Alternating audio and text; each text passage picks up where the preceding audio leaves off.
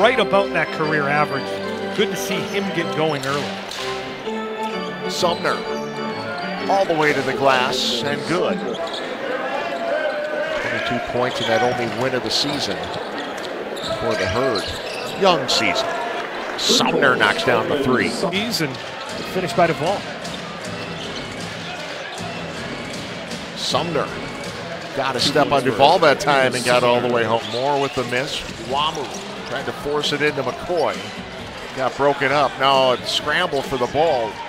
Ants come away with it. Sumner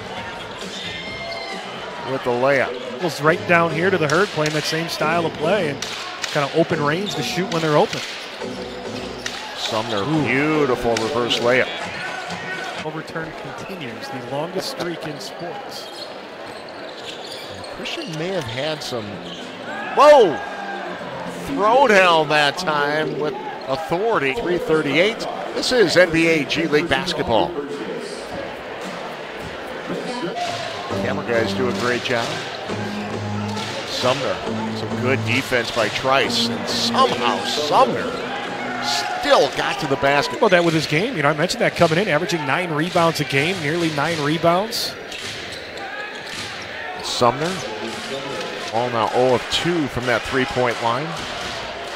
Sumner drops it inside, and Ike Anigbogu finishes. You need that momentum play, you need that play to get the crowd back in the game. Duncan can do that. And that's how you take the crowd right out. That tipping point there.